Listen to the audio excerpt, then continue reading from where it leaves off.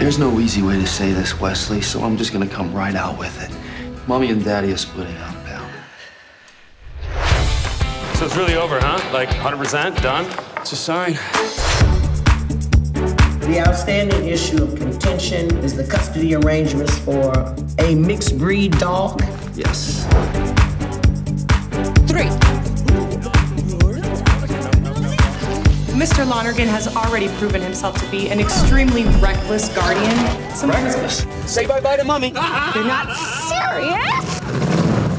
It is the court's decision to award sole custody to Miss Gray. Say bye to your daddy. I'll Fight for you, Wesley! How are you gonna do that? Uh, no idea. Where are you at on the grief scale? Stage two, anger. Wesley is on the verge of psychological disarray. This brand new clay thing, it isn't gonna work. He's had a plan. It's better without him, right? I miss her too, but Who says I need him? A good plan.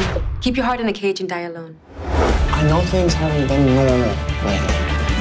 Incoming! And again, they never are, right? Now, I have a plan, but I need your help. Maybe it would be good for Wesley if we were together every once in a while. it's nice. Right? Yeah, I know, I know. He's getting impatient. I just have one question.